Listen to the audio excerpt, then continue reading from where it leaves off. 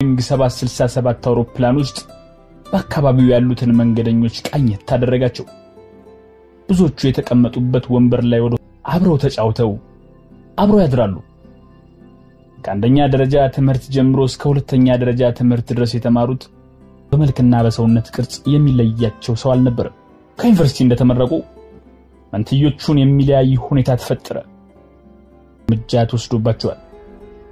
የአዲስ አበባ ዩኒቨርሲቲ መምህር የነበሩ ቢሆንም ሲሞቱ ግን ለልጆቻቸው ያተረፉላቸውም ለልጆቻቸው ፍቅር ሲሉ ሌላ ባል አላገቡም። ያም ሲያንስ በባላቸው ምክንያት ከቀበሌ ጀምሮ እስከ በላይ የመንግስት በዚህ ዕድሜ ቤት ውስጥ ከመቀመጥ መስራት ይሻለኛል በሚል መስራታቸውን ቀጠሉ።